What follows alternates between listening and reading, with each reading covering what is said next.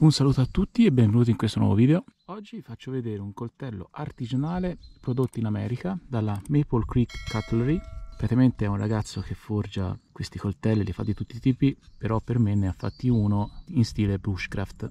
È un'azienda, come potete vedere, che esiste dal 2016, fatto direttamente in America. In descrizione io vi lascio anche tutti i riferimenti dove poterlo trovare, su Instagram, su Facebook e tutti i contatti, perché anche se il coltello in questione viene dall'America, a me è arrivato in pochissimo tempo, forse una settimana, ma neanche. What's going on, folks? Just wanted to give you guys a closer look at this bushcraft knife that I recently finished. It's made of 1095 high carbon steel. It's got hickory scales with brass fittings and black G10 liners. Uh, just finished up the sheath today. Kind of a classic bushcraft design with a little ferro rod holder on it do a quick little sharpness test.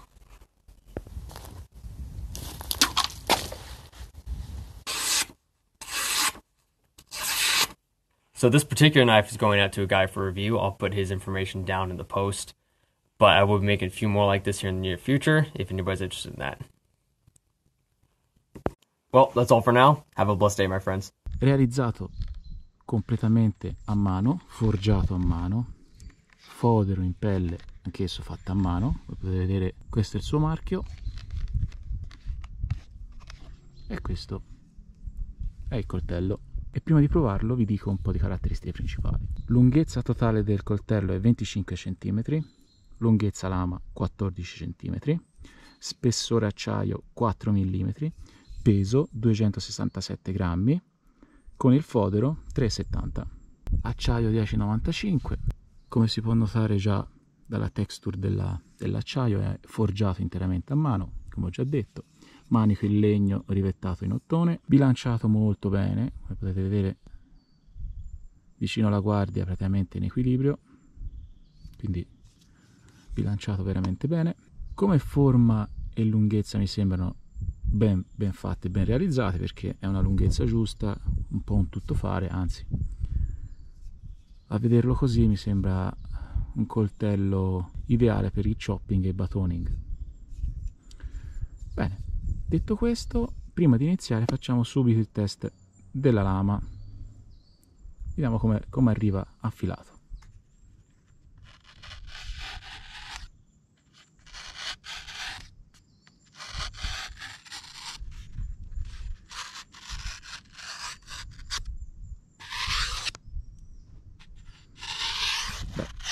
Direi che è estremamente affilato.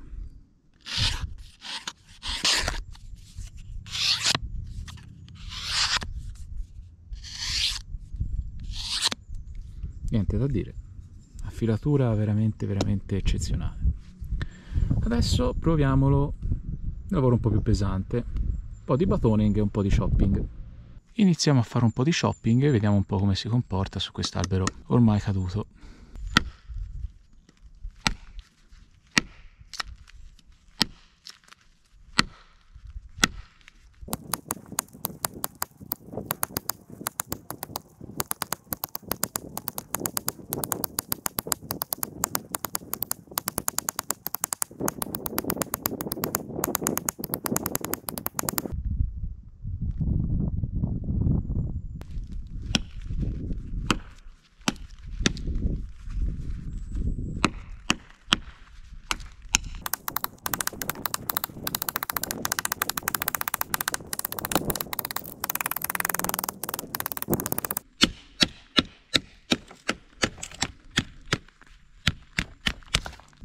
chopping si comporta molto molto bene. Forse tende un attimo a scivolare in avanti quindi io vi consiglio di mettere un laccetto qua. Ma per il resto veramente veramente ottimo. Riesce a entrare in questo legno molto resinoso. Infatti vedete pieno di resina quindi è anche molto difficile da cioppare però l'abbiamo lavorato bene. Stessa cosa qua sul tronco e anche qua. Qua è un inizio di lavoro fa vedere come riesce a penetrare dentro il legno.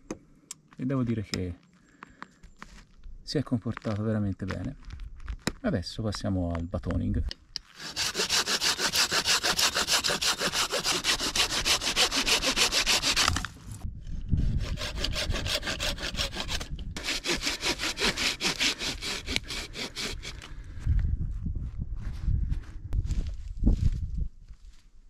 come vedete qua ho già preparato tre ciocchi di legno di tre dimensioni diverse e proviamo un po' di batoning su tutte e tre. Come si vede i ciocchi sono già quasi al limite lama per cui ci lavorerò proprio di punta. E vediamo un po' come si comporta. Userò un mazzetto relativamente piccolo quindi sarà tutto il lavoro di coltello vediamo un po' come va.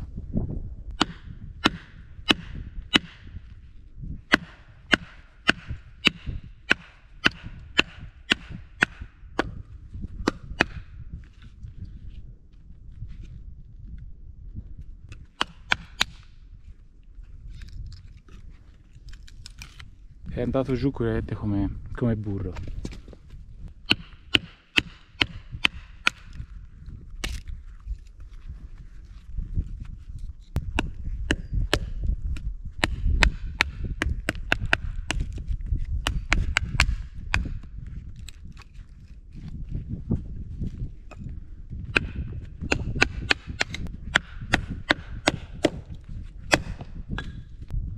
mazzetto non è che sia un martello, eh? è una cosa che si trova nel bosco, è un rametto, quindi fa tutto lui.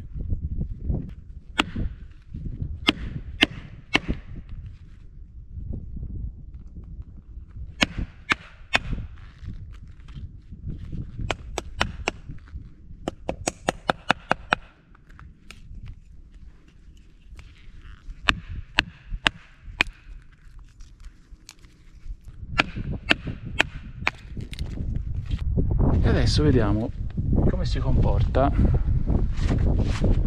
con questo che è ben oltre il limite lama. Non ho quasi acciaio per lavorarci. Vediamo un po' la vedo dura eh? però proviamo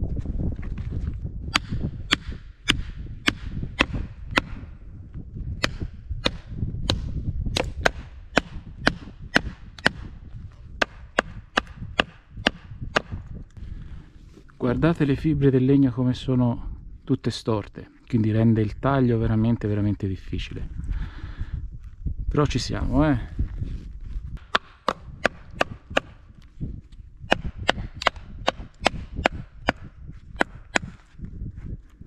Oh. guardate le fibre come erano tutte elicoidali. È stato veramente arduo il compito però il coltello si è comportato non bene di più benissimo. Facciamo altri lavoretti di batoning e poi passiamo all'altro.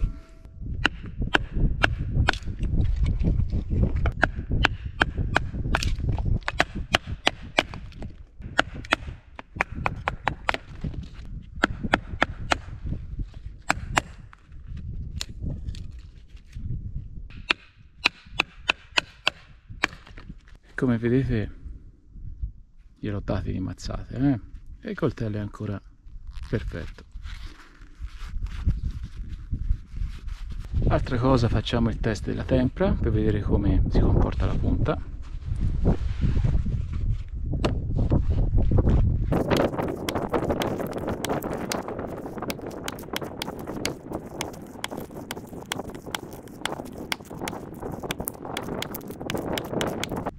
Non ha fatto una piega facciamo altri piccoli test come per esempio il chopping su dei piccoli rami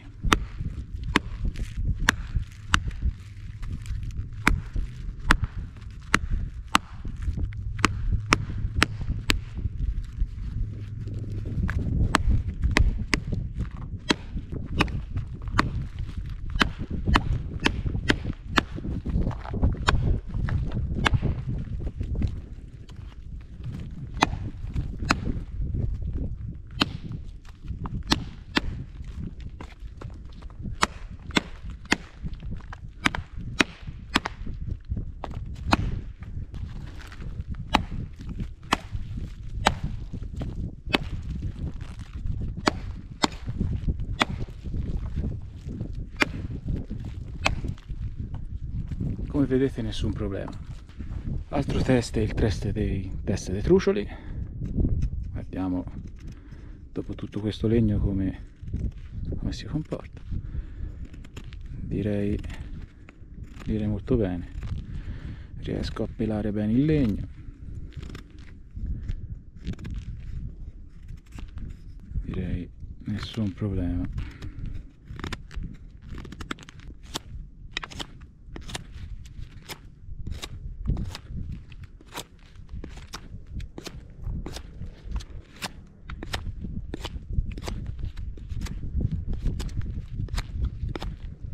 proviamo a fare anche la punta a un bastone.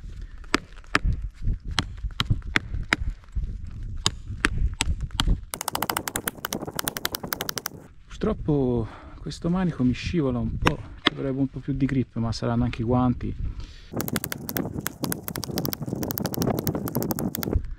Comunque il lavoro lo fa eh? è come se lo fa. Veramente sono soddisfatto di come di come lavora questo coltello da bushcraft. Altra cosa di cui non vi ho parlato è del fodero, come vi ho già detto, realizzato interamente a mano in pelle. Ha anche il porta firesteel o acciarino passante per la cintura. Anche il colore a me piace molto, cucito interamente a mano. E il bello è che questo artigiano americano sul suo e-commerce Etsy ha un'opzione che praticamente vi customizza il coltello. Quindi se volete un coltello di un certo tipo, di un certo peso, di una certa tipologia, per un certo lavoro, gli scrivete e lui ve lo costruisce proprio come vi pare a voi. Altra cosa sul manico che fra le guancette, il legno e l'acciaio c'è il classico C10 sintetico. Le mie conclusioni sono che è un coltello con acciaio veramente, veramente ben, ben performante forse il manico l'avrei fatto leggermente più ricurvo qua per dare un po' più di grip perché così tende a partire di mano ma come ho detto magari dipende anche dai miei guanti che sono usurati quindi tende a scivolare non hanno abbastanza grip. Comunque se poi voi lo volete glielo dite vi fa un, manico più, con più resistenza con più grip per essere un coltello artigianale non costa nemmeno tanto, io ho visto che ci sono anche altre tipologie, vanno sempre sui 100-150 euro, più spedizioni ovvio. A me piace molto molto esteticamente, penso che ci lavorerò ancora diverse uscite perché, perché mi piace. Mi piace, ha una lunghezza lama giusta, non troppo lunga né troppo corta, si affila facilmente con una coramella, affila normalmente anche sul campo con un pezzo di cuoio e via. Io ve lo consiglio. Ovviamente in descrizione io vi lascio tutti i link al suo sito, al suo Facebook, Instagram e tutti i riferimenti per trovarlo. Io questo coltello lo promuovo a pieni voti perché è veramente, veramente un ottimo coltello. Prima di finire riproviamo il test del filo. Perfetto. Riesco ancora a fare i capelli alla carta, sicché non ha perso un minimo di filo non so se riuscite a vedere riesco a fare i capelli al cartoncino alla carta.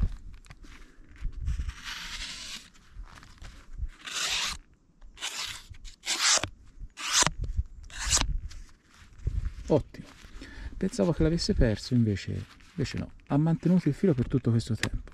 Comunque io vi consiglio di andare a vedere direttamente tutti i lavori che fa Maple Creek Canterley io vi lascio anche tutti questi riferimenti in descrizione quindi potete andarla a trovare potete andarla a vedere quando volete.